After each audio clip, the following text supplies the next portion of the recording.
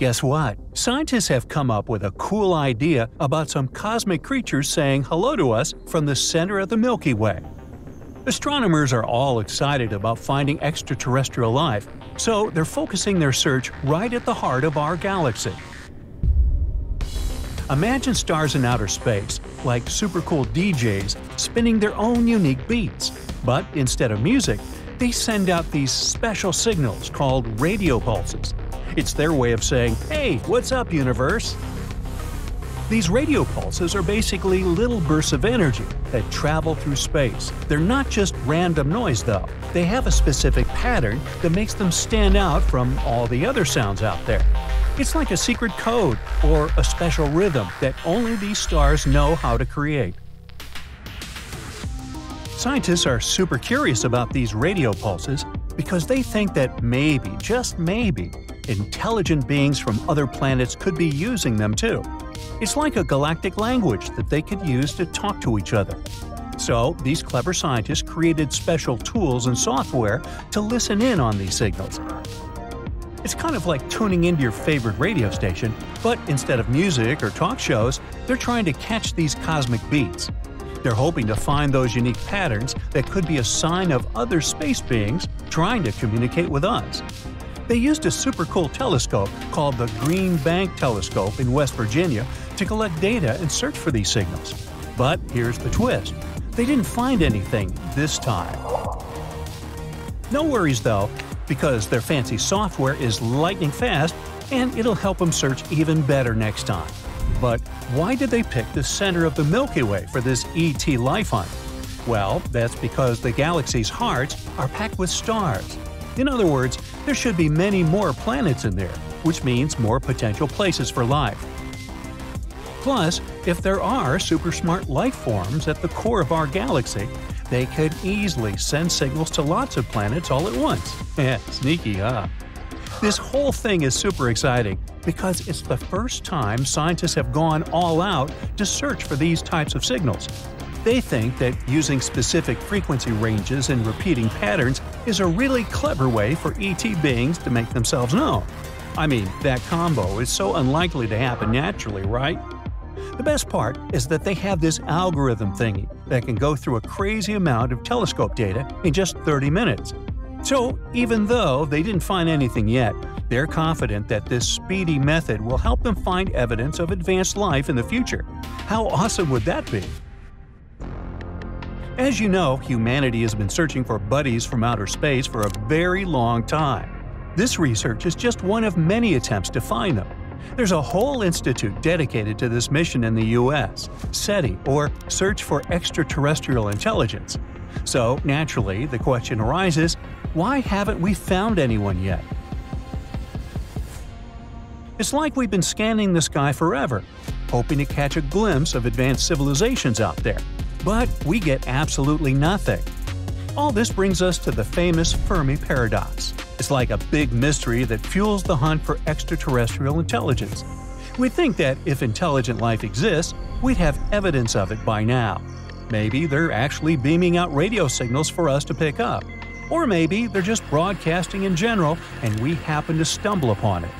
They could even have left cool artifacts in our solar system to keep an eye on us or just hang out.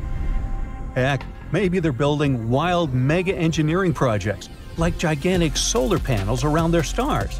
Or they could be getting all fancy and contaminating their stars with heavy metals just to announce their presence. So the search continues. We're not giving up just yet. And hey, maybe instead of just focusing on smart space beings, we should be on the lookout for any kind of life at all. Yeah, yeah, I know that a tiny microbe might not be as thrilling as chatting with friendly otherworldly creatures. But think about it there could be lots of simple life forms out there. We're talking about simple organisms swimming in oceans, mossy creatures holding onto rocks, or the first signs of critters exploring their habitats. They might not be super brainy, but they leave their mark. Plus, they could be way more common and easier to find in our galaxy. Now, take Earth for example. There's a theory that our atmosphere used to have a lot of oxygen floating around.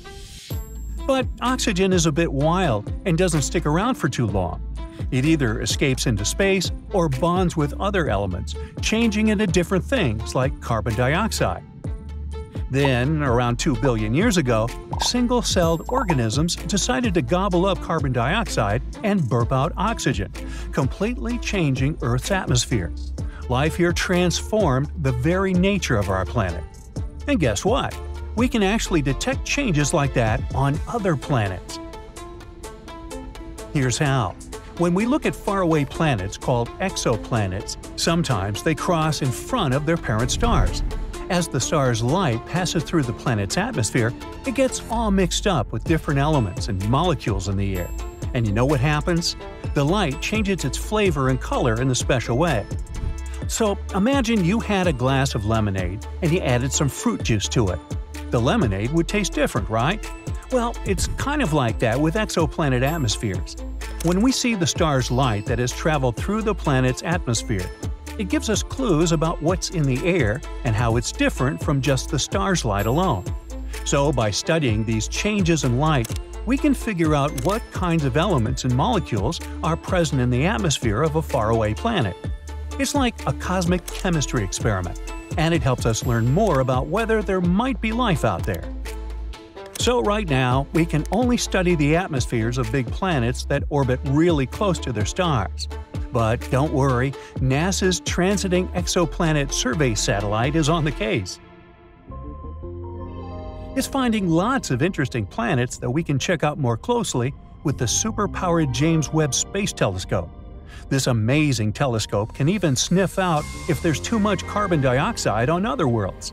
And okay, let's be real, our first contact probably won't be as flashy as in the movies. No exchanging secret codes or figuring out ET customs. We won't be chatting about funky bodies or habits either. Instead, the first hint of life out there will most likely come as a little wiggly line on a graph. It shows us that living creatures have really shaken things up on their home planet. Even simple life forms can have a big impact on their environment and leave behind a noticeable trace. Sure, it might not be as wild as battling space robots or epic adventures, but imagine this. Finding any kind of life beyond Earth would be huge. We'd be calling home, sending messages like, Guess what? We're not alone in the universe. It would be an historic moment we're celebrating. And by the way, we've already begun to find organic molecules in space. It's not a full fledged life as we imagine it, but it's still pretty neat. For example, we've already started to find organic compounds on Mars. And there's a teeny tiny chance that Mars once flourished with plants, and maybe even animals. This is just a possibility, but if it turns out to be true, it would show that the presence of living organisms in the universe is not as rare as it seems. The search for life in the universe is like a great detective game. We thought that finding it would be easier because they could do cool stuff like blasting radio signals or transforming their whole solar system. But looks like, in reality, things are much more complicated. Nevertheless, we shouldn't give up. Let's keep searching and hoping that this new study about radio signals brings some results. That's it for today. So hey, if you pacified your curiosity, then give the video a like and share it with your friends. Or if you want more, just click on these videos and stay on the bright side.